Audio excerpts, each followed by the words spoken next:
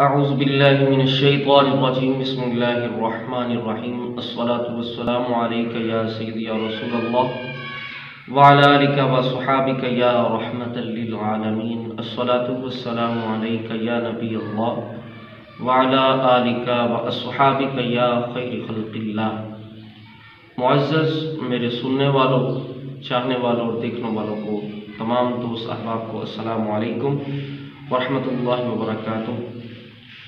عزیزان محترم برباد گلستان کرنے کو ایک ہی الو کافی تھا۔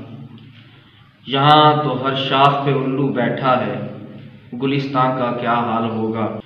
میرے عزیزان محترم، جناب فواد چودھری صاحب، آپ نے جو انتہائی گھٹیا اور مذمتی تردیدی جو آپ نے ٹویٹ کیا ہے بہت دلی دکھ اور افسوس ہوا ہے۔ اور آپ نے کرونا وائرس کی وجہ علماء کرام کو قرار دیا ہے، بلکہ ان کی توہین کی ہے۔ علماء کرام نے کیا کیا ہے میں آپ کو بتاتا ہوں۔ یہ مسلح رسول کے وارث ہیں۔ جناب فواد چودھری صاحب، یہ نبی پاک صلی اللہ علیہ وسلم کی وراثت میں سے ہیں۔ اور جن کے خلاف آپ نے بیان دیا ہے نا، اور جن کو آپ نے ٹارگٹ کیا ہے یہ یاد رکھیے انہیں کی بدولت آج مسجدیں آباد ہیں۔ اگر تحفظ ختم نبوت ہو، تو انہیں عالم دین جو ہے، انہوں نے تحفظ کیا ہے۔ مسجدوں کو تحفظ علماء کرام نے دیا ہے۔ آج مسجد میں جو آزادی ہو رہی ہیں، دن رات توبہ استغفار ہو رہی ہے، یہ علماء کرام کا صدقہ ہے۔ میرے خیال سے تو آپ کو سورہ اخلاص بھی نہیں آتی ہے۔ اور آپ کا دین اور اسلام سے دور دور تک تعلق نہیں ہے۔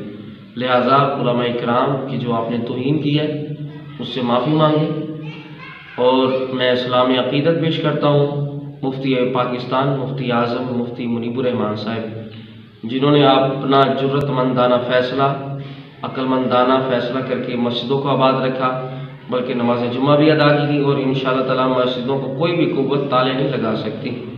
اور یاد رکھیے گا، اس حال سے ڈریں۔ کہ جس حال میں اللہ کے عذاب آئے ہیں، اللہ سے ڈرتے ہوئے میں توبہ استغفار کرتا ہوں۔ تمام دو سباب سے کہتا ہوں، کثرت سے درود پاک پڑھیں، درود تاج کی کثرت سے تلاوت کریں، درود تنجینہ پڑھیں، اس کے علاوہ توبہ استغفار اور نماز کی ادائیگی کو یقیناً بنائیں۔ ان شاء اللہ تعالیٰ اس وبا سے اللہ پاک ہم سب کو محفوظ رکھے گا اور جو بیمار ہیں، اللہ پاک ان کو صحت عطا فرمائے۔ السلام علیکم ورحمۃ اللہ وبرکاتہ۔